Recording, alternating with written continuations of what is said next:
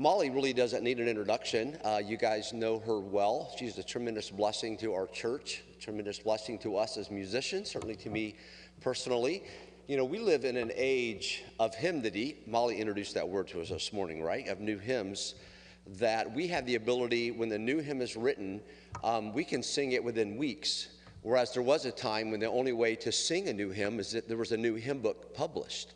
So, because of that time, you would go many, many, many, many, many years, sometimes a decade or more, before you would learn a new hymn.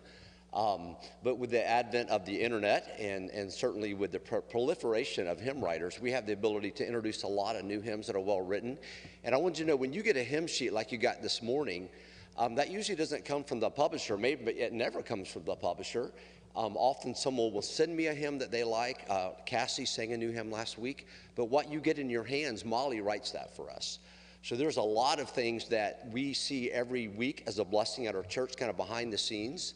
Um, all the orchestrations that the orchestra plays every week, Molly writes all those. So that's not something that we're, we're able to purchase, but she writes those really tailored for our church at Faith Baptist Church. She knows the musicians, she knows the instrumentation that we have, and um, often, not every week, but often, uh, she's writing a new orchestration. Um, we did a brand new this one this morning. What was the song that we did it for? Christ of Wisdom. There was another one too, a new orchestration. So, Only a Holy God, that orchestration that you heard for Only a Holy God, that was the first time that we had ever done that particular orchestration. And Molly wrote that this week and we sat down as an orchestra and we played that. So there's a lot of things behind the scenes that Molly does that are a blessing to us uh, week in and week out. She spends many hours in the office writing and uh, just as a, as a blessing to all of us as pastors, to us as a church family, certainly to me personally. And we're committed to new hymnody, but we're also committed to the hymnody that's been in our hymn books for many, many years, and some hymns that have been written um, many years ago that are not in our hymn book. And so we, we, we really seek to strike a balance there. And I'm excited to learn some things about some of the hymns that we've been singing, that I've been singing my entire life, that um, I'm not even familiar with, I'm sure. So Molly spent time in England. I was jealous uh, when I heard about the trip that she had. And uh, perhaps I would like to do that, something like that someday. She did tell me that after, what, 12 days, she'd seen enough gravesites um, and she was ready to come back, all right? So, but she'll share a lot of that with us tonight. I, I just want to say, as a church, Molly, thank you for your ministry that you're going to have tonight. And uh, for every week, we are, we are blessed by the gifts that God's given her, that she's committed uh, to local church ministry here at Faith. So, Molly, come and minister, please.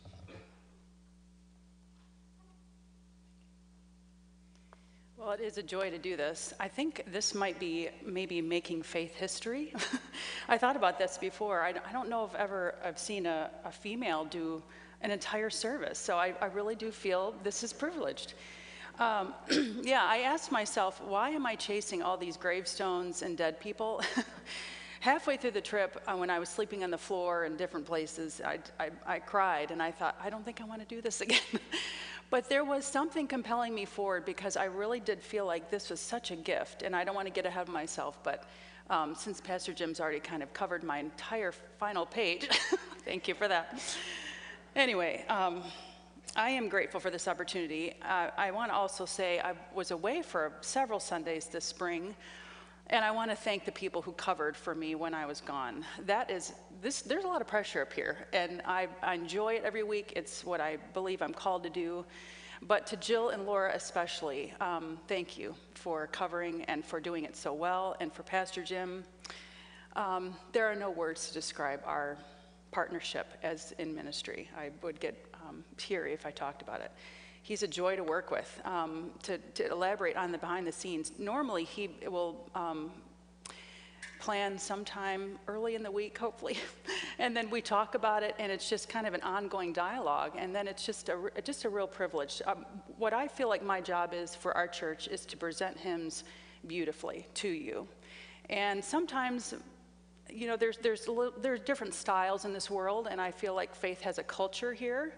And I'm privileged to just help set that for you. And hopefully it's, you know, as beautiful as it can be. I mean, there were, there's always room for improvement. But um, our orchestra is really good at this too. I, I, give them new music and they say, okay, this should be changed. We need new markings. And they're just very good at adapting. So I appreciate that. so, to get on with this, so the history of English hymnody this is really, to me, this is just, this is the budding era of the English speaking hymnody. That's why word, I, I gave the word English, because hymnody didn't start with English speakers. It started in the Bible. And so I really do feel like it's, it's um, probably appropriate if we rewind time a little bit and go back to where it, congregational song started right in the first place. So I'll give you the map of where we were. Some of you have been to England before. I had um, I spent time with the Gearharts. They were there in Wales and England. Oxford is really the center of our, where our location was. We landed in London and we ended in London. We did kind of a circle of about a thousand miles and chased a lot of monuments, as I told you this morning. And so we kind of did a, a, little, just a tour and, and, and, and saw all these places. Sometimes we were in three or four cities a day, and then we would stop and drive back to our wherever hotel was. So it was, it was quite a trip. It was, it was a lot of information. I brought my laptop with me, and I would get in the car as soon as we'd, um, we'd exit one of our cemeteries, and I'd write all this stuff down because there's just no way to remember it all. But it's just, it was such a gift to do. So here we go. For context, this historical timeline, I think we do need to start with where did congregational song start in the very beginning? So I'm going to put you to the test class. Here we go. Biblical congregational song. I want you to think about the first time we know congregational song happened in the Bible, okay? So think about this. This is I'm going to give you a hint. It is not in the New Testament. We know of songs, we know of occasions where people sang and they note it in Scripture. But where did it first happen in the Bible? And can you tell me where and where it was, at least what the context was? I'm hearing, ex- do I hear Exodus? Okay, Exodus, yes, thank you. Exodus 15, this is the song of Miriam and Moses. Now, I've, sometimes it's quoted as the song of Miriam, and then I read that it was the song of Moses, so I just put them together. And Miriam, I will say this my name is actually, um, Molly, is actually a derivative of Mary, and so is Miriam, so I've always kind of felt a connection to her. I don't know, that's funny. Anyway, so moving on, little anecdotes about me. So here are more places where we know song happened in the Bible. Psalms, obviously, an entire book, entire book of Song of Solomon, the song, I mean, if you ever thought, it says the Song of Solomon. The next one to me is one of the most precious places, of course, because of the context, is Christ and his disciples after the Last Supper. I don't believe that was the only time they sang together because they were so familiar with singing, but it was probably one of the most sobering moments of song. And then, of course, the Song of the Redeemed in Revelation. So then we have, we're moving forward with the early church, Greek congregational song. And the most famous song from this era is called the Gloria Patri, which is basically a doxology. And I knew Damien would know this. Is there anyone who's grown up on singing the Gloria Patri and you know it in Latin or you know it in English? Yes, a few people. My dad grew up Lutheran. Part of this was part of their liturgy. They actually learned catechisms, and this was part of what they learned. And we actually sung this several times in England. They had what's called Evensong. I don't know if you've ever heard of that, but it's, it's kind of a, a community um, worship event, um, nothing like we would have here in a local church context, but very interesting to kind of go through their liturgy. So, moving on. Then we have the Latin, the medieval period where they spoke Latin. We have several hymns from this time period, and we, we sing one of them more often than the other. I'm going to get into this, but of course, these all had to be translated in English for us to use them. And I want you to think about that. These were written in Latin, but someone centuries later had to take these and put them in meter and poetry and rhyme them and put them in melody. All of this took place over many, many years of time. Moving on to German Reformation, this is when everything changed, and church historians would tell you that, and it also changed our hymnody. And this, to me, is really the beginning of our English speaking hymnody, because this is when things changed so much. So, what's our most famous hymn? Martin Luther's A Mighty Fortress is Our God. We actually have two more. Um, if you know Praise the Lord the Almighty, we sing that a lot, and Now Thank We All Our God. All the, both of those are from that time period as well. So, Here's, I'm getting ahead of myself, and it's easy to do this with slides and notes in front of you. So, following the Reformation, this is when Protestant beliefs were became divisive, to be honest with you. Um, and we have the belief at that point, and John Wesley was teaching this, that psalmody was the only way to sing. And so there were obviously divisions and Protestant beliefs, and I, I, highlighted the word psalter because that's really the first psalter that was hymnal, and we think of it as a hymnal, but this was their collection of song. The first one that was brought to the U.S. was in Pennsylvania, and actually some Amish people start, still use um, psalters to this day in 1564. So that was technically the first one. But the first general one that was used in the U.S. Is, was brought in the Mayflower with the Pilgrims and the British brought the first English Psalter to Jamestown, a collection of psalms. This is what they sang. And it had to be translated in English at, it, from the Brits, and they brought it to, um, to the US. And so, with the invention of the printing press, I want you to think about all the technological advances as those things happened. They made more liberties for more song periods, and this is what happened. The Bay Psalm book was printed for the first time in the US in Cambridge, Massachusetts in 1640. So this is the first collection in the US after so much had happened in England. So we're going to kind of go move forward from 1640, but we're still in England, okay? So I wanted to give you a little bit of that at least. So this is the first man, Benjamin Keach, 1640. Not a real happy guy. but you'll know why when I tell you. He became a Christian at 15 and a Baptist preacher at age 18. He pastored a little church called Keach's Meeting House. This is our group. And if I wish I could tell you more, I, I, would, I would be here for hours. I told Pastor Sean this could go on forever, and I won't do that to you. But the English preserve buildings there like the Americans don't. It's really amazing. And this particular building, I, I, took a picture of the entryway, which is on the one side, and then our group is on the front of the house standing just like it was in the 1600s. Um, and this is in 1658. He was 18 when he pastored this church. He called the meeting house. And it still remains in Winslow, in England, just as it was then. And in fact, it wasn't even dusty in there. I mean, it smelled like mildew and a little wood, but it was just really, really neat. So here we are. We're, we're touring through this building it looked like, if you've ever been to Crossroads Village, you know, some of those little tiny um, buildings that were all wood and just felt, feel very small, that's kind of what it feels like. Pews are very hard, very small. I honestly think the human body must have been smaller at that time because buildings just felt very, very small to me. So we walked through this building and thought, this is what this man did. He, is, um, he wrote catechisms, and he was the first one to write hymns at a time when only psalmody was allowed. So he's writing hymns, not very good. They weren't sal- salvageable, um, really not really singable. But his position on, on believing that the church needed psalm or songs of human composure, that's what we call them, um, was his stance. And he was criticized for it. In fact, he was persecuted. He was imprisoned several times, he was mocked publicly and heavily fined for his position on him singing. And so um, he really is believed to be the first person that, that entered or that fought, really, for him singing in churches. So the plaque above his pulpit, I kind of I like this. It, it says Benjamin Keach.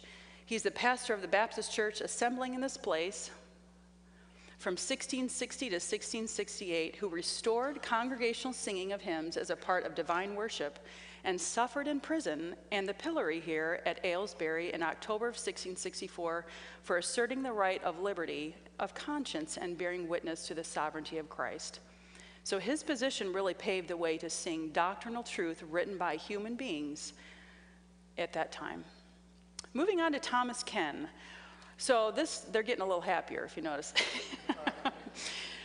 Thomas was orphaned in childhood, raised by his older sister. He was an Anglican bishop, and he studied at Winchester College, and he stayed there as a teacher and mentored his students. He wrote prayers for them to sing at morning and evening, and the morning hymn was entitled Awake My Soul, which is reasonable, but this evening hymn was entitled, music teachers might recognize this, All Praise to Thee, My God, this night. And at the end of each prayer, they would sing a song. And his song that he wrote have become the most sung sacred English words across the globe. He pastored a little church. It's really not that little, it's actually very beautiful. Uh, the to- this is his, and typically preachers are, are buried outside their church buildings. So this was another thing where we would stop at a church and then their tombs were right, right there outside the door. Um, but he wrote this prayer for his students, and so we will sing it. Praise God from whom all blessings flow. Praise him,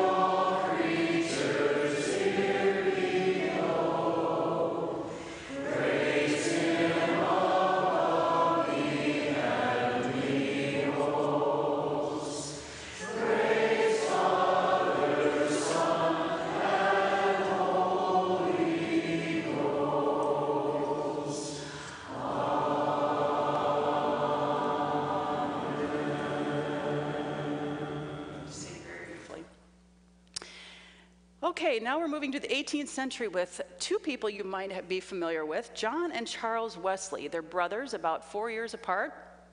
There are two brothers in a family of 19 children. 11 of the children survived, and nine died, or eight, I'm sorry, my math is wrong, eight died as infants. So the parents are the famous Susanna Wesley. We've heard a lot of stories of Susanna, and Samuel Wesley, who is an Anglican clergy and a drunkard. Very difficult life, difficult marriage, difficult home. Their house burned down twice, and at one point, Samuel actually left her and the children. These are stories you probably don't like to hear or comfortable to hear. But I, I, to me, this put people in context. They were human beings in very hard situations, often in their homes. So John and Charles go to Oxford. They're unsaved.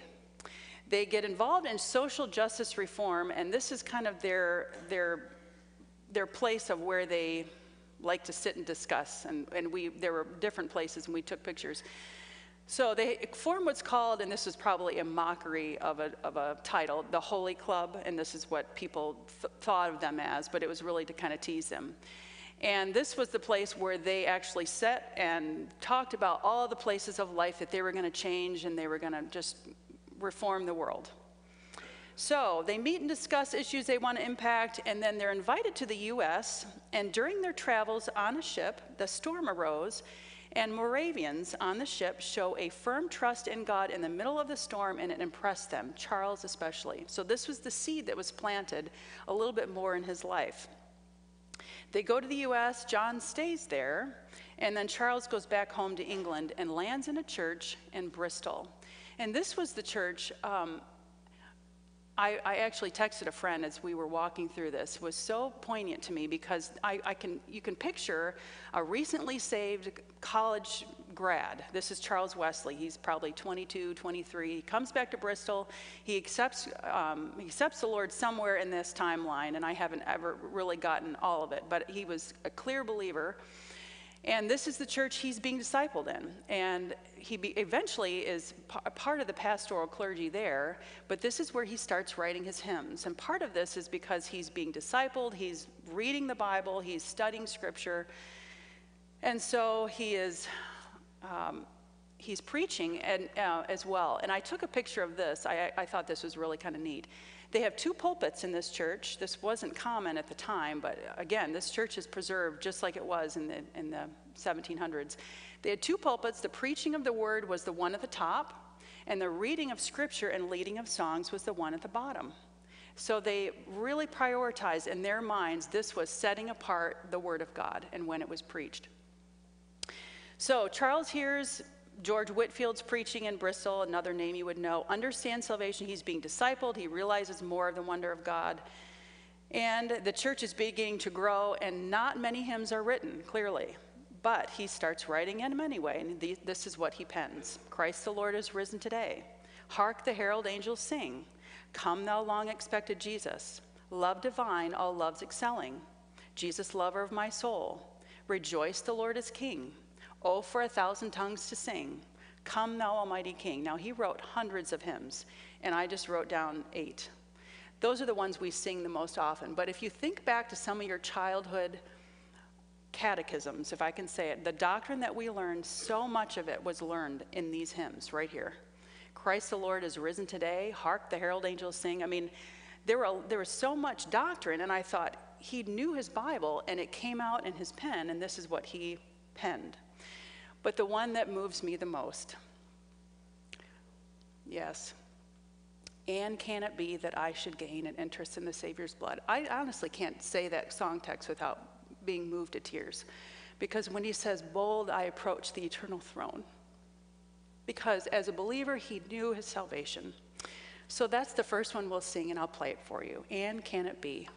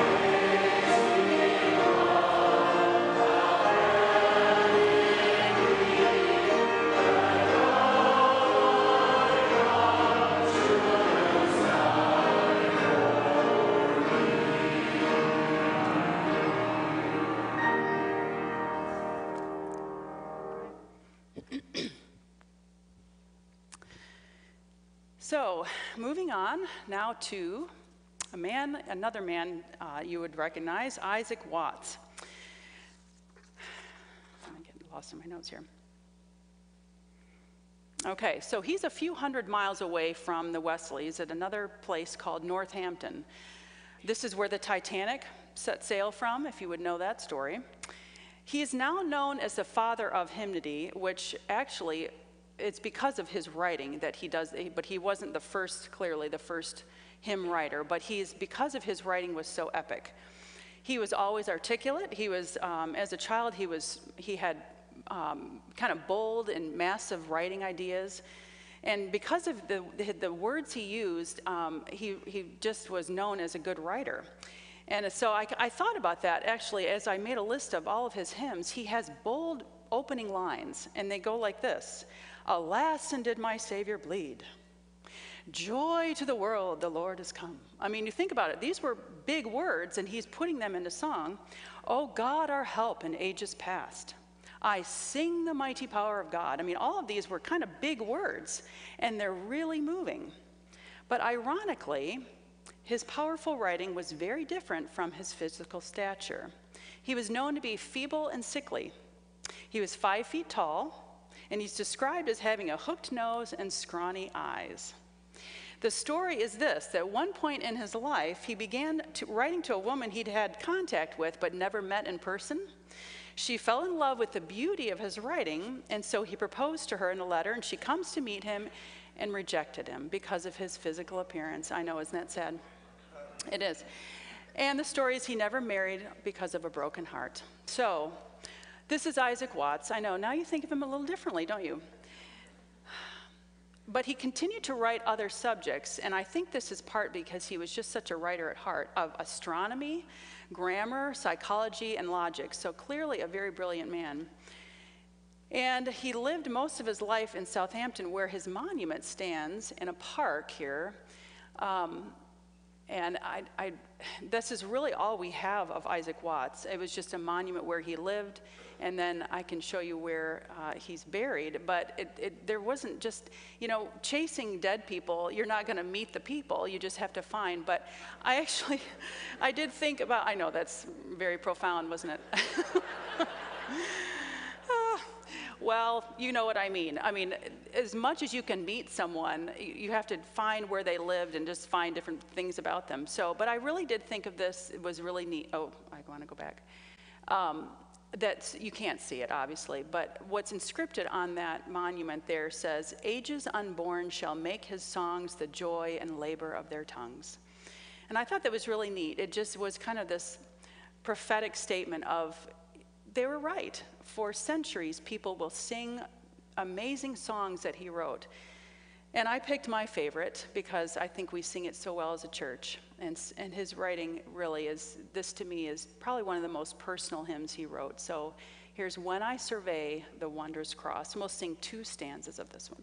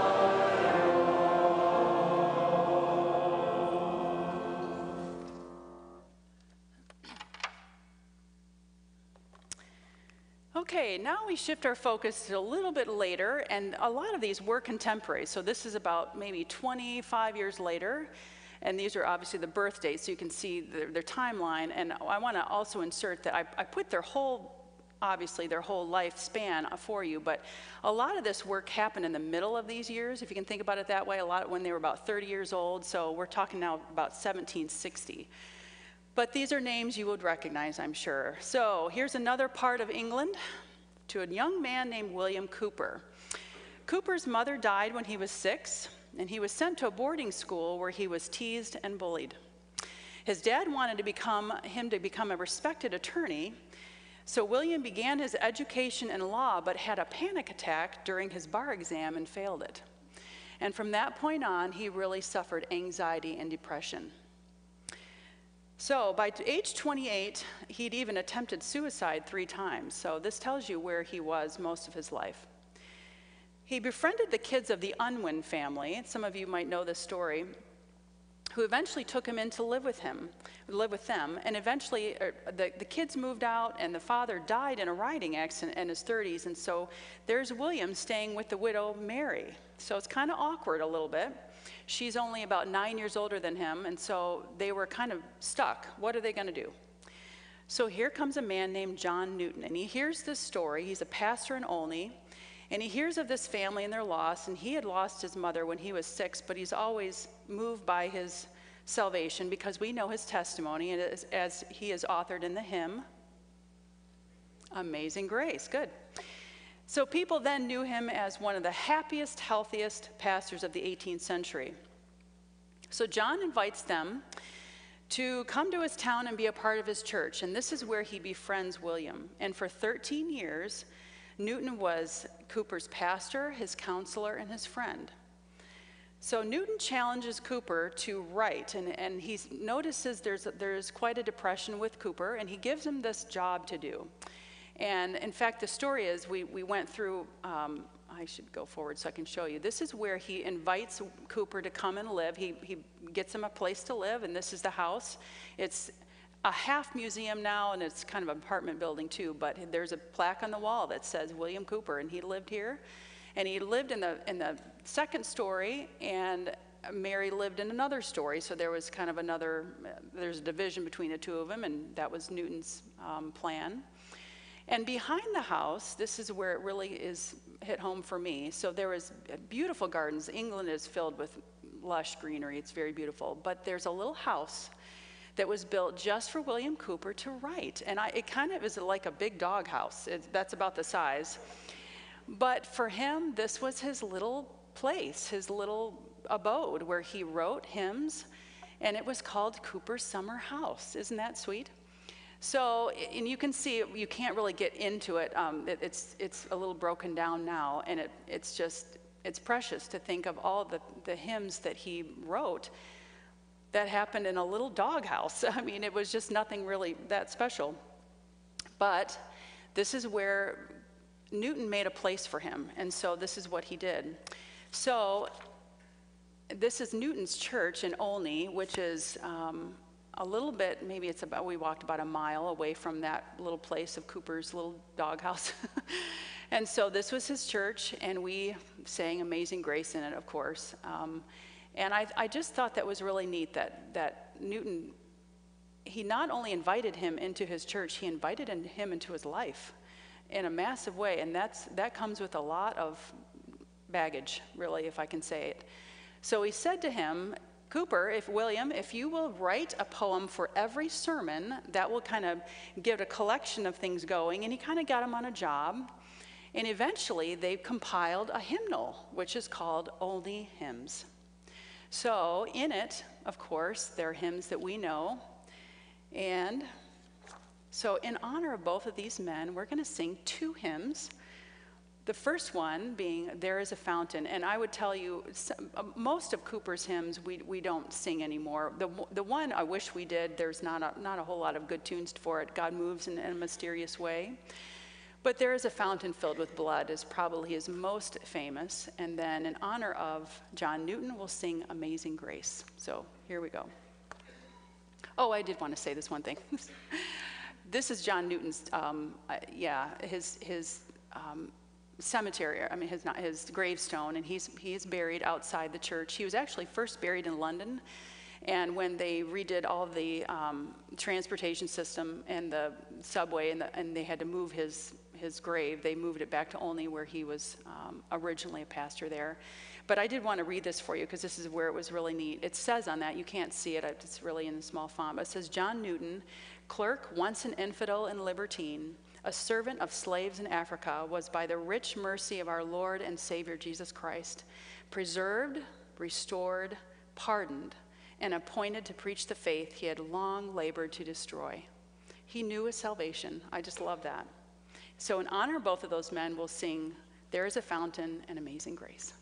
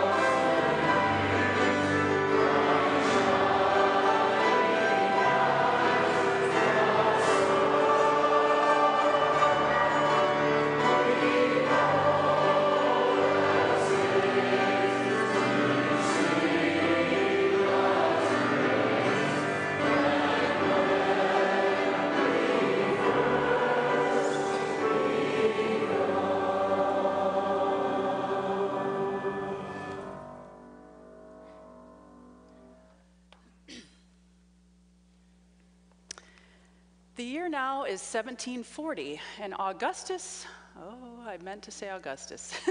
Picture a U and S at the end of that. Sorry about that. Augustus Toplady is born, and he becomes a, Christ, a Christian as a freshman at Trinity College in Dublin and grew under the teaching of John Wesley.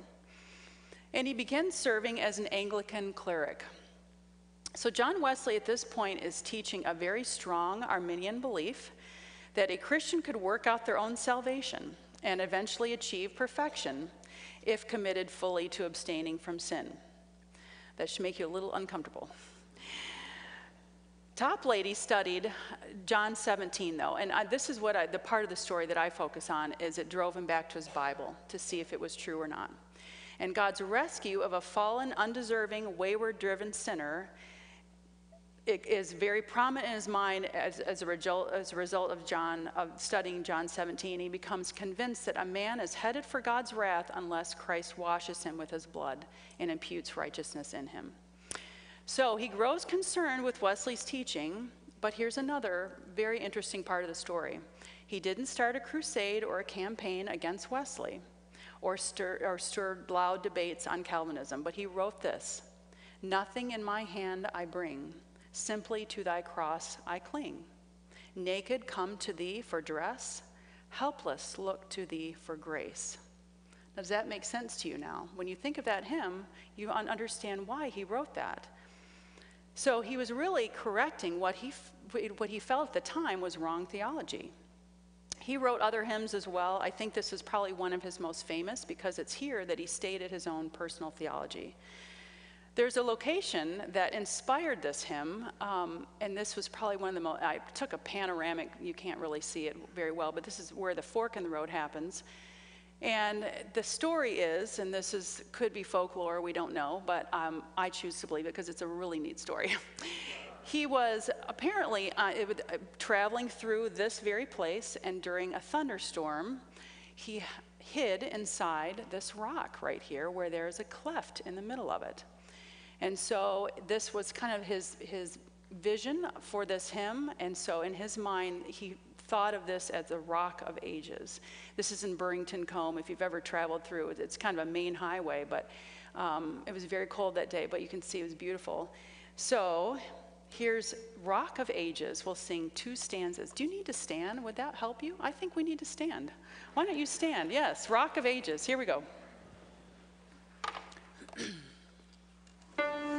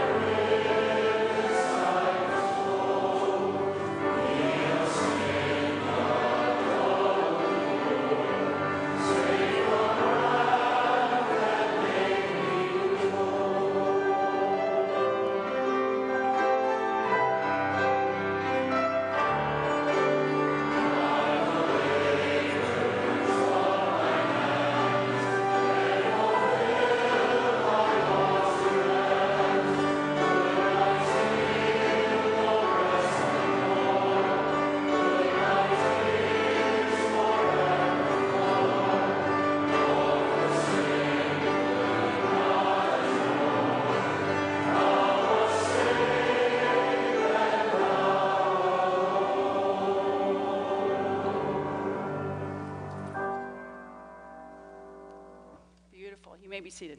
Thank you. Okay, a few more to go here. This is a man named John Mason Neale. Has anyone heard of John Mason Neale? I didn't think so. Yeah. Here is Neale. This is very profound to me. He is very unknown in any hymnal. He's the behind the scenes guy. He wasn't a gifted speaker, he wasn't a visionary leader, he wasn't a pastor but he knew his Bible. And he felt he was seeing compromise in the time. And so, again, instead of, instead of starting a crusade or speak against a brother in Christ, as he thought he was seeing at the time, he began to interpret and form words into poetry, and he needed a desk. And I, I don't know how many, let's see. Um, okay, I will show you this in a minute. This is his, his gravestone. It was very un, kind of unseen at the back of a lot. Again, this is just very representative of his life. He really didn't have a name, but this is what he did. He took hymns that were written in the previous centuries, Latin, like I told you with the, all creatures and the, the Latin and the medieval periods, and he translated them into English. Thousands of them. And at the bottom of a hymnal, you'll see trans period JMN, and that's his identity. He did really nothing but that, as he just translated hymns of, of another man's work. And so he's not very well known. He's not a Wesley or a Watts, and he won't be named in the, hall, the Hymnal Hall of Fame. But because of him, we have O Come, O Come Emmanuel, All Glory, Laud, and Honor, and Good Christian Men Rejoice, among thousands of others. I think that was kind of striking to me too. You know, a, a lot of times now you see hymn writers, and in our day we see maybe five or six hymn writers on one hymn. It's, it's, it's, we, we live in a different day. But in all of those hymns, you can, you, there's probably one voice that's a little bit louder than the others, and there's probably one guy who said, I think maybe we should change that to an E flat or an F. this was this guy. He was the guy that just kind of was behind the scenes. In fact, his job, this was interesting to me, he needed a place to write. Writers do. I have a little cave back there. It doesn't, it's just, you kind of have to hole up sometimes when you write, and this was his job. It, it, it was a, originally Sackville College, and co- the college building was turned into a, a retirement home. and they needed a place, uh, a person to take care of these retirees and retired clergy. And so he had an office there, and that's where he wrote. He wrote his hymns that were basically an, a rewrite of another man's work. So this is trans JMN, okay? He's a nobody. But because of him, we have these, hymn, we have these hymns.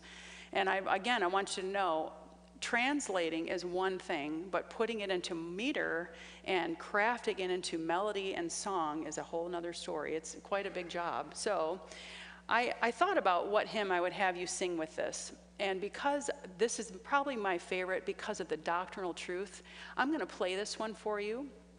This is Of the Father's Love Begotten. We have so much doctrine that originated in this hymn, and I'm going to play it for you because we don't know it as well. So this is just one stanza of, of the Father's Love Begotten.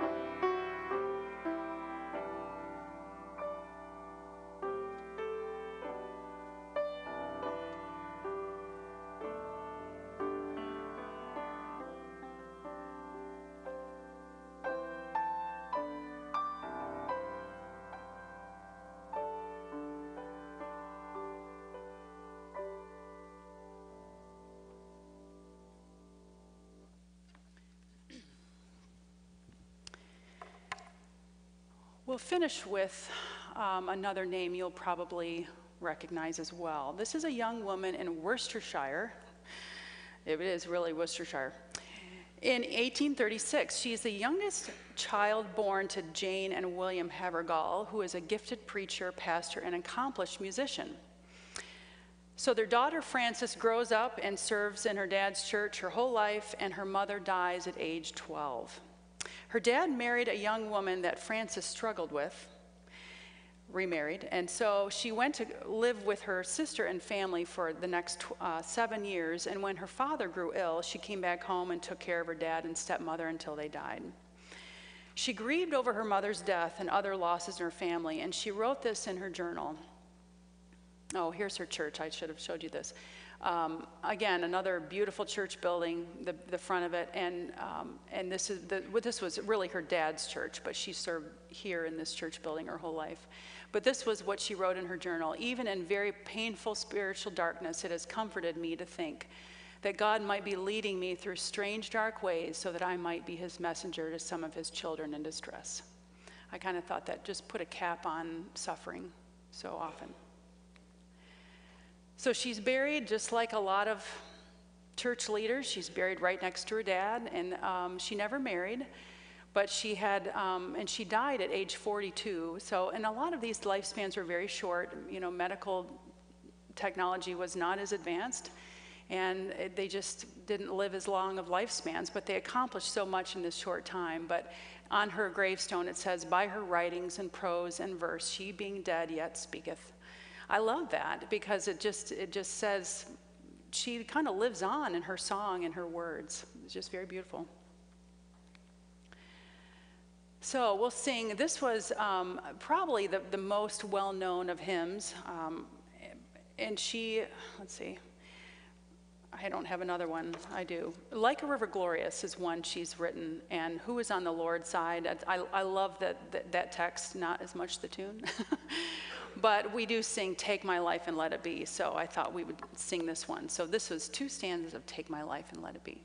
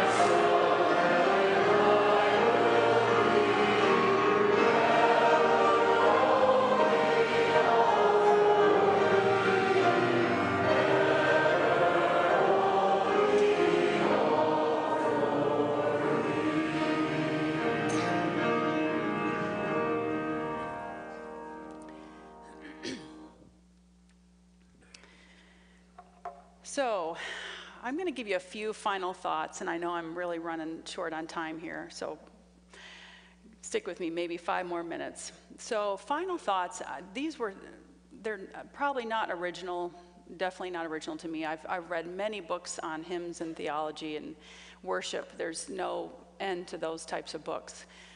so, this is probably a duplication of another man's thoughts, but these are just things I jotted down as I came away from this trip. First of all, I hope it's evident I'm not just showing you travel pictures and, and stories. Um, and this is really not, I, I, guess, a hidden agenda to hope, you know, our church comes back to just singing old hymns. That's really not my heart here. But here's what I do want to convey is that writers are human and their lives are difficult and hard, and just like us, they had everyday trials loss, loneliness, failures, brotherly disagreements, and there were no shortages of those, pain and suffering, and they were faithful in situations that likely felt impossible. They trusted God in their hardship, and often, especially in the case of Cowper and many others, their greatest struggle became the very vehicle that compelled their legacy. Their hardship was hidden behind the words that they wrote on the page. I thought of Cowper's life and I just thought, well, where would we be without there is a fountain filled with blood? But underneath that was a man who was completely depressed and, and went up and down and up and down, and John Newton had to probably reel him back and talk him off the ledge. How often? Thank you, John Newton. But thank you, William Cowper, for having the faith to, to just write some words down and to use his gifts for the Lord. I also hope to convey something else that these were not written by fundamental Baptists. They probably weren't men we would invite to speak in our church. They were different, they had different beliefs. They were Anglican, Methodist, chaplains, and bishops, completely different from our stripe, if you will. And God still had his hand on their writing to use to become what has shaped and informed our theology for centuries. So, the lesson here to me is you know, our, our hymns are friends through life. I mean, who hasn't grown up with some of these? Well, There's a Fountain is just one. Amazing Grace has been quoted in how many movies and, you know, books? I mean, this is, these are hymns that the world knows. And they comfort us, they catechize us, they instill, and they articulate truths that we can't come up with ourselves so often, I, I, will tell you this I play for most of the funerals in this church. And it amazes me, um, it kind of tells a little bit about the family when they pick the hymns that they want played during the, the final moments of when they're grieving their loss. And I cry right there with them, trust me. But I always praise the Lord when I think, yes, they, they picked a hymn that they know, whether it's It Is Well With My Soul, and there's another story that we could go on about. Uh, maybe another day I could tell you about that one to, um, what's the one we, Christ our hope in life and death. So anything from era to era, they, they pick these hymns to remind them of the truth of God. The most poignant one to me, this was a young man in our church who lost his mother, and he asked me to play A Mighty Fortress is Our God. And when he said that, I thought, what in the world? How am I going to play this at a funeral? that is not a funeral song. And I thought, that's a funeral song because it reminds me of the truth of God as a fortress in a time when I just want to be sad. So, what makes a good hymn? Have you ever thought about that? Hymns are chosen for you. Pastor Jim does a great job with that. But what makes them lasting? What makes them well written? I'm going to also say, again, this is not my thoughts, but I, these are just things I jotted down as I was riding in a van. The first thing is accuracy of Scripture. So these men studied Scripture, and that's the first thing that I, they weren't just crafting something that they wanted to have as a poem or trying to make an income. They studied Scripture, and it was born out of their informed theology. Another thing is it was an equal blend of truth and beauty. Truth and beauty need each other. One without the other is either boring artistically or weak spiritually. They, they really need both. We need both in, the, in hymns. Beautiful and relevant language. I will tell you, I've already said there's thousands of hymns I've neglected, and we just chose one out of someone's 25 that they, that they wrote. Why? Because some of them, their, their language is, is easier to sing, it's maybe easier to understand. And so as we've moved forward now, and we're in 2024, our language is different, our spoken language is different, so our hymns are going to be different. I think another one is a balance of doctrine and human experience. Isaac Watts said this well when I survey the wondrous cross on which the Prince of, um, yeah, what did I say? When I survey the wondrous cross the, on which the Prince of Glory died, and I pour contempt on all my pride. He's, he's saying, I recognize what a sinner I am, but what a God I have. And there's kind of this balance of, of, of who God is and who I am, too. And I think that's a good balance. And of course, just to have dynamic and being able, just powerful to sing. When we sing Power of the Cross or In Christ Alone, as we did this morning, I mean, the roof could come off. It's so beautiful. You just sing beautifully, by the way, and it's, it is a privilege to accompany you on a Sunday. It's the highlight of my week.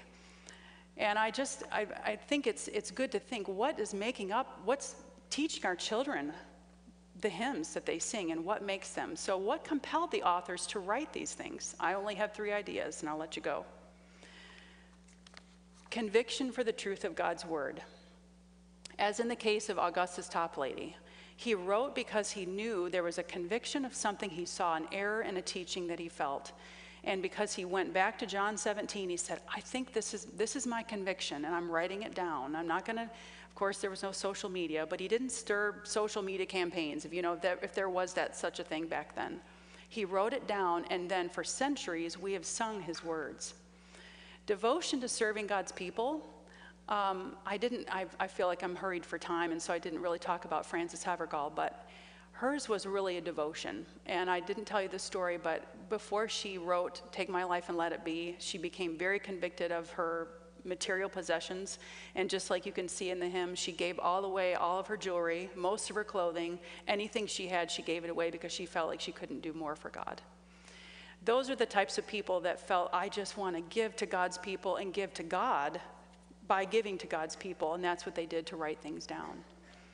And of course, a trust in God's leading through hardship. From Newton to Cowper, most of these people lost parents in their childhood. They lost spouses, they lost a lot, and they, they did with very little, and they trusted God, and they wrote hymns that have stood with us for the test of time. So here are my final thoughts to you.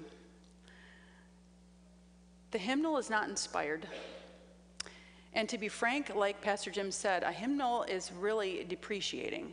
The minute it's published, it's, it's going down because we're adding hymns immediately. They're being they're they're cranking out as fast as the internet can pump them out.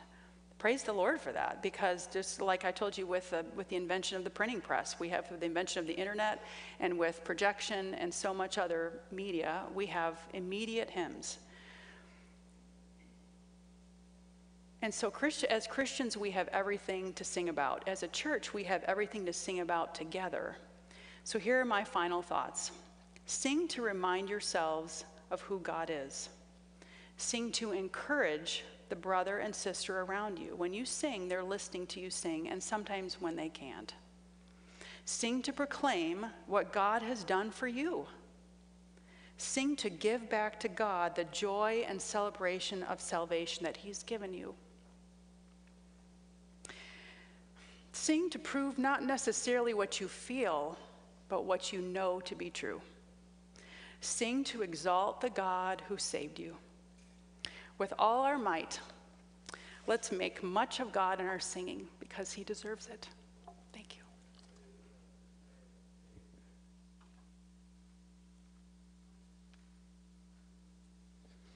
Thank you, Molly. I thought uh, there were several lines in there that uh, just helped bring the song, the text alive. And uh, I certainly hope, I realize you might have felt um, a little pressed by time, but we may just have to ask you to come back and do this from time to time on Sunday nights. And uh, I think it would be really, really enjoyable and helpful. And I think it would be an absolute shame after all of that for us not to close with some type of uh, traditional hymn. Pastor Jim, you have something in mind? Are we going to make Molly come right back up on the platform and play? I mean, After, uh, after that, we'll close, uh, Pastor Jim will close in a word of prayer. And then, uh, again, just publicly, we appreciate uh, each of you, your contribution to the music ministry each week, and certainly uh, Molly and all that she does uh, to help us in that, Pastor Jim and so forth. Pastor Jim, you take it. Brian, we'll sing three verses of Like a River Glorious, and you're going to find out how good Brian is right here, too, all right? Let's stand and sing together, please.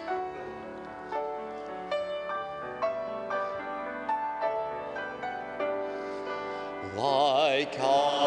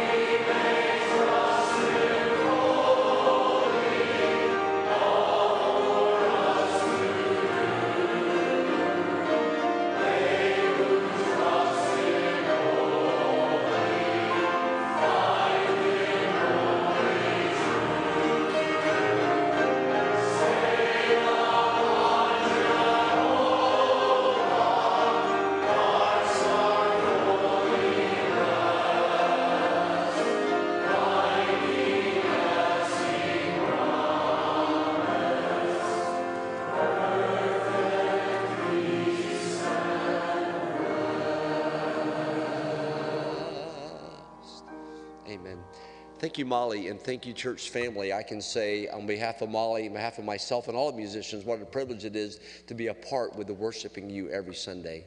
Uh, Molly said it's the highlight of her week. Is certainly the highlight of my time of serving Christ. Is serving here with you each Sunday morning and evening. So thank you for being a blessing to others as you sing. You're a blessing to us.